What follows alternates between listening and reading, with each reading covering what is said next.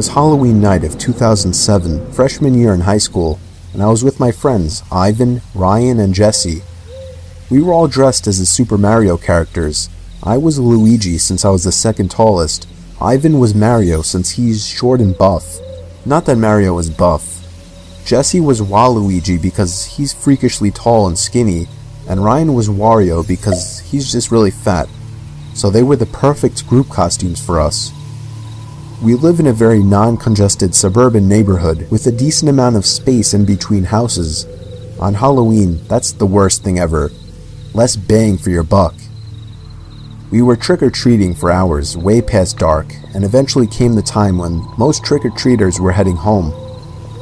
My feet started to hurt, and I had to constantly switch arms for holding the now 10 pound pillow sack of candy, but we planned on going until our bags were completely full. A lot of the houses by now weren't answering anymore. It was probably past their cutoff time for giving candy to trick or treaters. Approaching our next house, we saw a purple bucket on the stoop, which was the best feeling ever. I was the one to get close enough to realize it was empty, which was the worst feeling ever.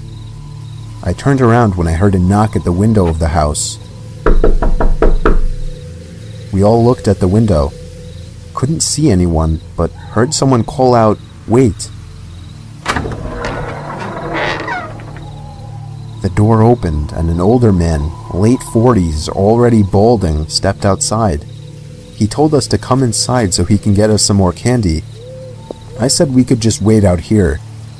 He responded saying something along the lines of, Nonsense, come on in, we'll get you your candy. Ivan stepped in and said, It's alright. Come on, Dan, let's go. I told the guy to take care and apologized. He just stood there watching as we walked off not saying anything. I felt bad, but at the same time, that guy seemed like a creeper, and I figured I just dodged a bullet not going in there. If the story ended there, it wouldn't be scary, so of course, it didn't end there.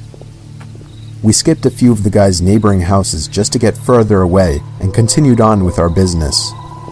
We were walking down close to the nature preserve now, so there weren't many houses around us, at this point, we were now walking back closer to Jesse's house. I noticed Ryan had stopped walking, and I turned around to see what's up. He said he heard someone moving from behind the trees in the preserve. Now, this was before everyone's phones had flashlights, so we couldn't just go searching in the woods for someone. Besides, we were just telling Ryan that it must have been a raccoon or something. You may think this is a bit of a cliche, but when things like this happen in real life, you always assume the more logical possibility. It's just natural. Why would we assume we were being followed? I had to put my arm around Ryan's shoulder and nudge him forward. A little ways down the street, me and Ivan picked up on the sound as well. When we all stopped, the sounds of the footsteps from beyond the trees stopped as well. Ivan yelled at the obvious stalker to go away, or we would beat the shit out of them. I knew he was just bluffing, though. I could hear the nervousness in his voice. The snap of a twig from beyond the trees triggered a fight or flight response in all of us. Me, Jesse, and Ryan all ran for it.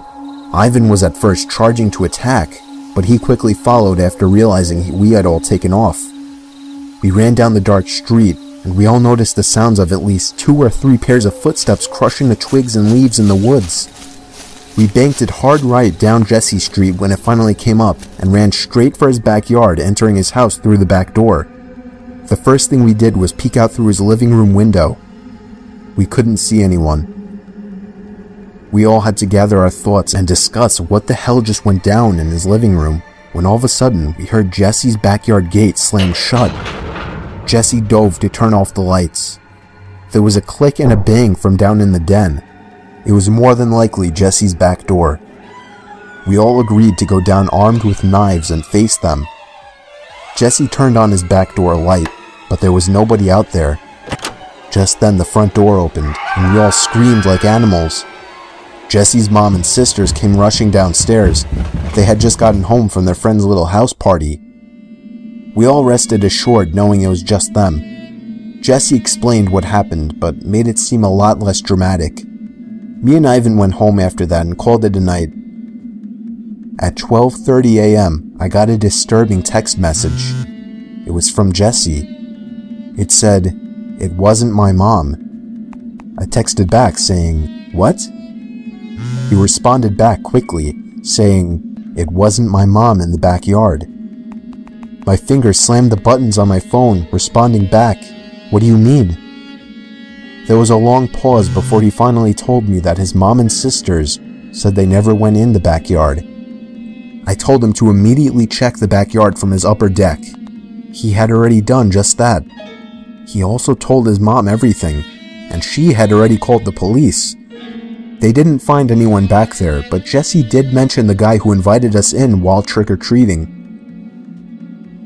Nothing ever became of that, and nothing ever happened at Jesse's house again after that one Halloween night.